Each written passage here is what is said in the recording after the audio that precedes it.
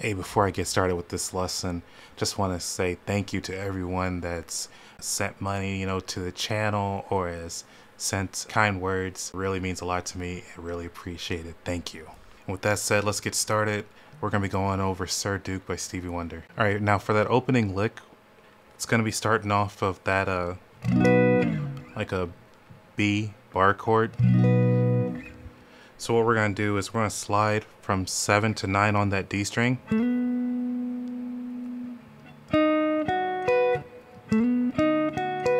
Sliding from 7 to 9 on that D string. On that uh, G on the 8th fret. And then on that 7th fret is where we're going to have the B and the high E. This kind of makes that shape. Okay, so. And you're gonna go over here to the sixth fret, D string, hit that twice. On that G, four to three. And doing the same thing on the B too. Ending with that high E, uh, sorry, not high A, what is that? High E on the uh, fourth fret.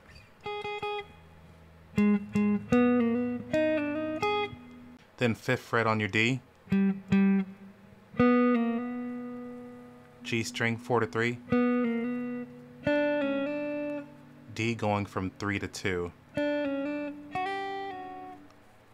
that high E, two to three. So all together we got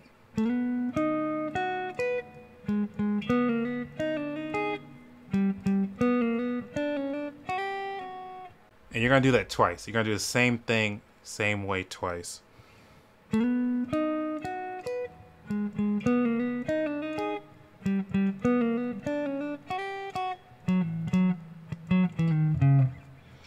then what I'm doing there to finish that opening riff off is going to be uh, 4 to 2 on your D string.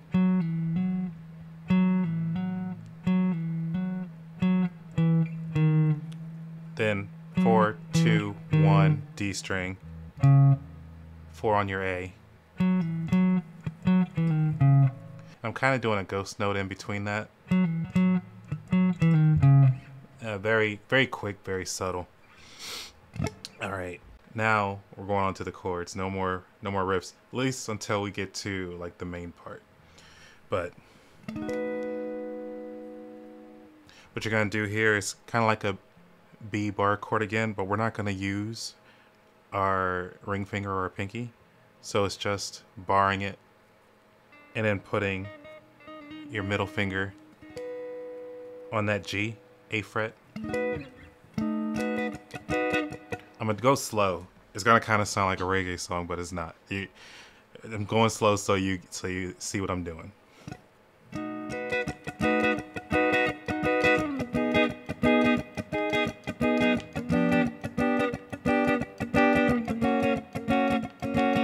All right, so we're going from that that shape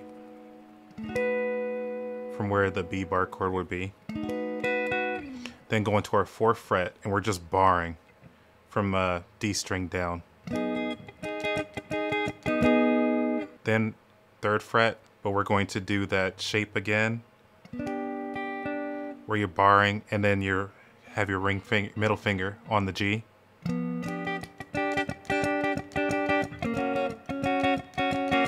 So that's third fret, second fret.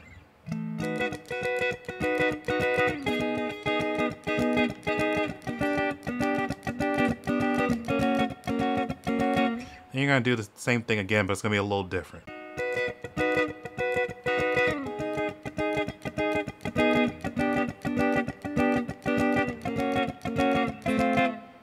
So from there, we're going three, two, one. And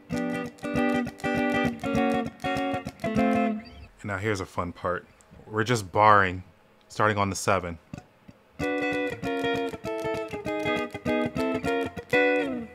This part is chromatic. You're just gonna start on the seven, six, five, four. and you're gonna work your way up.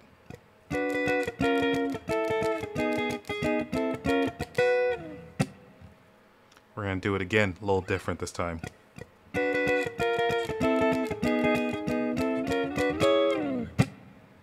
So in that one, same thing. Seven, six, five, four. Then you're gonna go four, five, six, seven, nine. And now we're back to this shape again. Barring on the seven, middle finger on the G.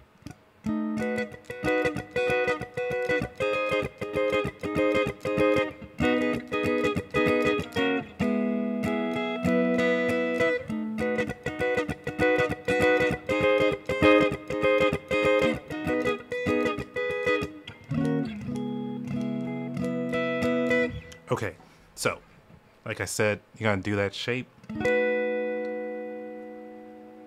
with your middle finger on that G. Then you're gonna move over one on that A fret, but this time you're gonna have your middle finger on the B, ninth fret. Then you're gonna make a E major seven.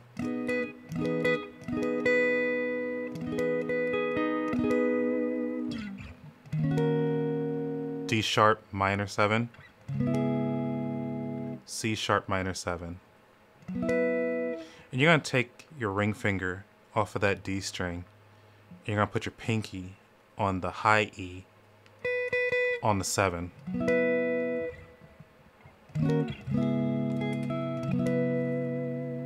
you're going to do that twice. And after you do that, then is probably the most challenging part, but it's really it's really fun when you get it. So I'm gonna demonstrate first, slowly.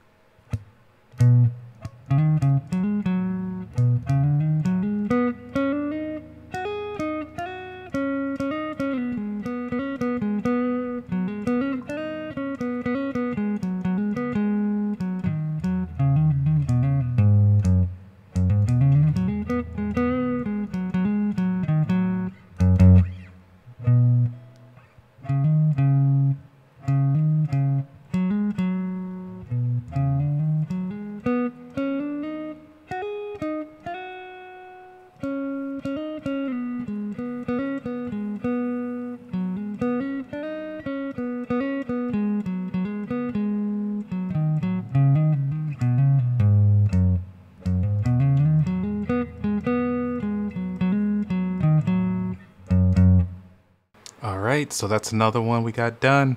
Another one for the books. Yo, if this was helpful, let me know in the comments below. If anything else I can do to assist in further your development in your guitar journey. Also, let me know. i love to hear from you. That's the lesson. Once again, thanks everybody that, you know, uh, contributed and uh, sent me kind words. Really appreciate that once again. Have a good one, guys.